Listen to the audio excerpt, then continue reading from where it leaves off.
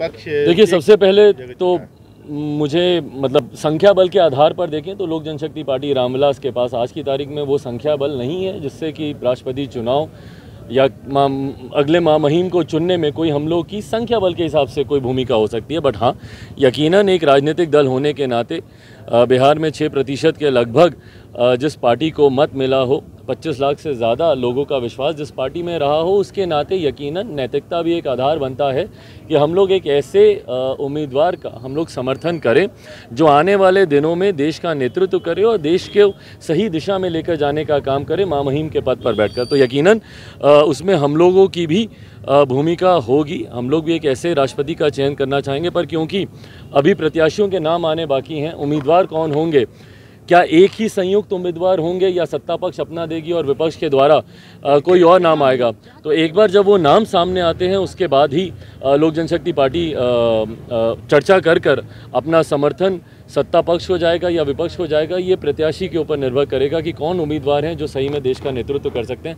कहीं ना कहीं हाल फ़िलहाल के दिनों में प्रधान राष्ट्रपति के पद को, प्रेसिडेंट के पद को एक डमी पद की तरह दिखाने का प्रयास किया जाता है। ये कहीं ना कहीं एक चिंता का विषय है जिस तरीके से राष्ट्रपति के अपने विशेषाधिकार होते हैं संविधान ने जो राष्ट्रपति को अधिकार दिए हैं देश को सही दिशा में लेकर जाने की एक बड़ी ज़िम्मेदारी अ, उनके ऊपर होती है। तो ऐसे में एक ऐसे व्यक्ति का चयन होना ज़रूरी है जो अपनी ज़िम्मेदारी को गंभीरता से निभाए। जदयू ने कहा इस पर बोलने का अधिकार आपको फ़िलहाल नहीं है क्योंकि आपके पास कुछ ऐसा है नहीं। नहीं मैंने तो खुद अपने वक्तव्य को रखने से पहले मैंने इस बात को मैंने कहा कि संख्या बल के आधार पर नहीं पर एक ऐसी पार्टी जिसके पास छः प्रतिशत का मत है पंद्रह पच्चीस लाख से ज़्यादा अ, अ, लोगों ने जिस पार्टी पर अपना विश्वास जताया नैतिकता भी एक आधार होता है संख्या बल में शायद हार जीत में हम लोग शायद कोई अ, बड़ा योगदान नहीं दे पाए पर उसमें समर्थन अ, हम लोग का ज़रूर रहेगा। जी अभी चूँकि एक एक वोट की कीमत काफ़ी ज़्यादा है राष्ट्रपति के चुनाव में और एक वोट को लेकर सियासत हो रही है तो चिराग पासवान का वोट भी उतना ही अहमियत रखता है। तो जी बिल्कुल।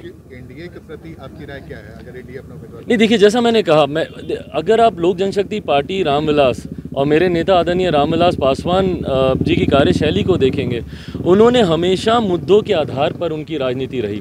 जिस मुद्दे के साथ उन्होंने अ, उनके विचार मिले उनके सिद्धांत मिले हमेशा उन्होंने उन मुद्दों को उन्होंने प्राथमिकता दी। 2014 में जब एनडीए गठबंधन का भी हम लोग हिस्सा बने उस वक्त भी मैंने कहा था कि ये इशू बेस्ड अलायंस है नीतियों के आधार पर होने वाला ये अलायंस है। ये भी एक बहुत बड़ा फैसला है जिसमें आप देश के राष्ट्रपति को आप चुन रहे हैं।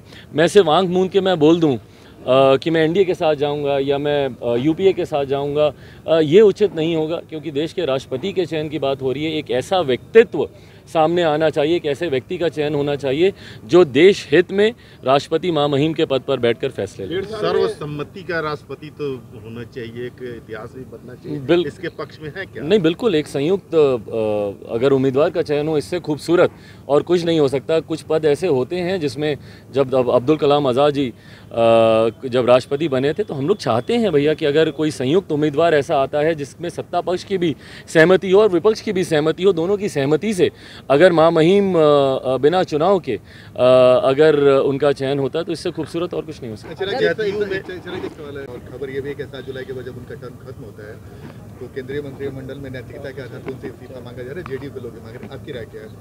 नहीं देखिए इसमें मेरा खैर बोलने का कोई हक पुनः नहीं बनता अ, क्योंकि जनता दल यूनाइटेड का पूरी तरीके से ये इंटरनल मैटर है।